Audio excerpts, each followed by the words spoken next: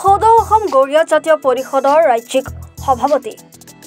মইনুল ইছলামে মৰাণত অনুষ্ঠিত সভাত অংশগ্ৰহণ কৰি অসমত বসবাস কৰা গৰীয়া লোকসকলৰ সুকীয়াকৈ জৰীপ কৰি অ বি চিৰ মৰ্যাদা প্ৰদান কৰিবলৈ চৰকাৰক দাবী জনায়। সদৌ অসম গৰীয়া জাতীয় পৰিষদৰ ডিব্ৰুগড় জিলা সমিতিৰ উদ্যোগত অনুষ্ঠিত সভাত কহিনুৰ আলীক সভাপতি আৰু সৰুজান আলীক সম্পাদক হিচাপে লৈ পঁচিছজনীয়া পৰিষদৰ শক্তিশালী সমিতি গঠন কৰা হয়। সভাত পৰিষদৰ ৰাজ্যিক সম্পাদক আৰিফ ৰহমান ৰাজ্যিক প্ৰচাৰ সম্পাদক মুকিবুৰ ৰহমান জিলা সম্পাদক দুলু হুছেইনকে প্ৰমুখ কৰি ভালেসংখ্যক ব্যক্তি উপস্থিত থাকে। যদিও মৰাণ আঞ্চলিক হিচাপে নামাকৰণ কৰা হৈছে তথাপি ইয়াত আমাৰ চৰাইদেউ আৰু ডিব্ৰুগড় পাৰ্টৰ সকলোখিনি মানুহ ইয়াত উপস্থিত আছে। আমি আশা ৰাখিছোঁ যে আমাৰ সদৌ অসম গৰীয়া জাতীয় পৰিষদৰ যি লক্ষ্য আৰু উদ্দেশ্য যে অসমৰ সকলো গৰীয়াকে একত্ৰিত আৰু সুসংগঠিত কৰাৰ উদ্দেশ্যে আমি কাম কৰি আছোঁ। আৰু এই ক্ষেত্ৰত মৰাণ অঞ্চলৰ গৰীয়াসকলকো যাতে আমি সামৰি ভৱিষ্যতৰ দিনত আমি গৰীয়াসকলৰ উন্নতিৰ ক্ষেত্ৰত আগবাঢ়ি যাব পাৰোঁ তাৰ কাৰণে এই সভাৰ আহ্বান কৰা হৈছে। আপোনালোকৰ কেতিয়া গঠন হৈছিলে আৰু?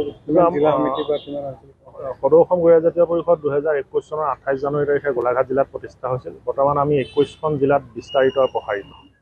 আপোনালোকৰ মূল লক্ষ্য উদ্দেশ্য আমাৰ মূল লক্ষ্য উদ্দেশ্য যে আমাৰ চৰকাৰৰ ওচৰত মূল দাবী যে আমাৰ সুকীয়া সুকীয়া জৰীপ এটা কৰিব লাগে। যে আলী ৰহমান হুছেইন উপাধি হোৱাৰ কাৰণে যে মুছলমানসকলক আমাৰ একাকাৰ কৰাৰ যিটো প্ৰক্ৰিয়া অসমত চলি আহিছে যে দ্বিতীয় শ্ৰেণীৰ নাগৰিক হিচাপে সকলো মুছলমানকে একাকাৰ কৰাৰ যিটো প্ৰক্ৰিয়া অসমত আৰম্ভ হৈছে তাৰ পৰা যাতে আমাক মানে বাচিবৰ কাৰণে আমি থলুৱা মানুহ আমাৰ ইয়াৰ অসমৰ আমি বিভিন্ন বেলেগ ৰাজ্য বা বেলেগ দেশৰ পৰা আহি ইয়াত বসবাস কৰা মানুহ নহয় আমাৰ মানে আমি ইয়াৰে মানুহ আমি ইয়াৰ বেলেগ জনগোষ্ঠীৰ বা ধৰ্মান্তৰিত লোক। গতিকে আমি আমাৰ ইয়াৰ থলুৱা অইন জনগোষ্ঠীৰ সৈতে সমান অধিকাৰ পাবৰ কাৰণে আমাক এটা সুকীয়া জৰীপ কৰিব লাগে।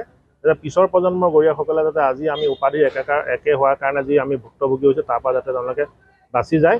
আৰু তাৰপিছত আমাৰ এই জন মানে জৰী- জৰীপটো হোৱাৰ পিছত আমাক মৰীয়াসকলৰ দৰে বা আহোমসকলৰ দৰে আমাক এটা অ বি চি মৰ্যাদা প্ৰদান কৰিব লাগে। আৰু এই ক্ষেত্ৰত চৰকাৰে ইতিমধ্যে ব্যৱস্থা গ্ৰহণ কৰিছে। আৰু আমাৰ গৰীয়াসকলৰ অ বি চি মৰ্যাদা প্ৰদানৰ কাৰণে ইতিমধ্যে শুনানি আৰম্ভ হৈছে।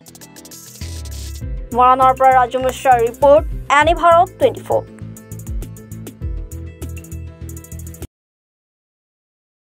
ৰ'ব আপুনি যে এটা অপৰাধ কৰিবলৈ গৈ আছে আপুনি জানেনে? এই নাবালিকাগৰাকীক এতিয়াই বিয়াত বহোৱাটো যে এটা অপৰাধ আপুনি জানেনে? অপৰাধ? কেনেকৈ? মোৰ ছোৱালী মোৰ কথা। তুমি যিয়েই নোকোৱা ভূঞা ওঠৰ বছৰৰ তলৰ যিকোনো কন্যা সন্তানৰ বিয়া দিলেই আইনগতভাৱে এক দণ্ডনীয় অপৰাধ। বিয়া দিয়াজন যিমান দায়ী বিয়া পতাজনো সমানে দায়ী। এতিয়া তাই পঢ়া শুনা কৰাৰ বয়স খেলা ধূলা কৰাৰ বয়স। তাইক খেলিবলৈ দিয়ক পঢ়িবলৈ দিয়ক আৰু চাব এদিন আপুনি তাইক লৈ গৌৰৱ অনুভৱ কৰিব পাৰিব। এতিয়াই তাইক সংসাৰৰ বোজা দি তাইৰ ভৱিষ্যত জীৱনটো অন্ধকাৰ কৰাৰ অধিকাৰ তোমাৰ জানো আছে? মোৰ ভুল হৈ গ'ল মাজনী। মোক ক্ষমা কৰিবা। শিক্ষা ল'ৰা ছোৱালী উভয়ৰে প্ৰাপ্য আৰু অধিকাৰ। আপোনাৰ কন্যা সন্তানক তাইৰ এই প্ৰাপ্যৰ পৰা বঞ্চিত নকৰাব।